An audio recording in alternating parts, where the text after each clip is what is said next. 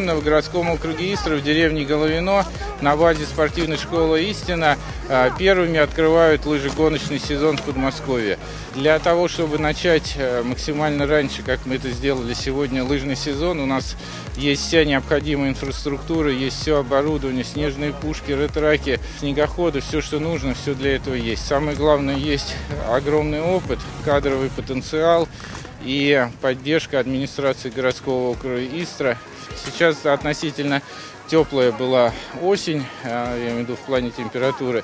И как только перешло на минус, потому что снежные пушки, они работают, генерируют снег только в минусовую температуру. Поэтому как перешло на минус и дневные и ночные часы, а, мы включили пушки, и это, в общем-то, 4 дня подготовили вот этот стадион, пошли дальше уже на роллерную петлю. А, по такой погоде а это еще несколько дней, будет круг уже около двух километров со спусками, с подъемами. К концу недели ожидаем снегопада. Если действительно все будет так, как стоит сейчас в прогнозе, то буквально в течение недели уже замкнется круг 5 километров. У нас действительно уникальный объект, потому что очень благоприятная для лыжных гонок природный ландшафт, вся территория эта территория не случайная, ее там много-много лет назад выбрал Алексей Иванович Холостов, который сегодня давал нам старт.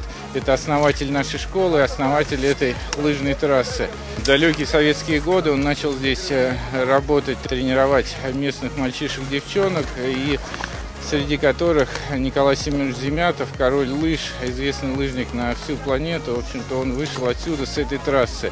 Истра – территория спорта, и мы не можем сделать по-другому, поэтому мы стремимся быть лучшими, первыми. И сегодня у нас все получилось.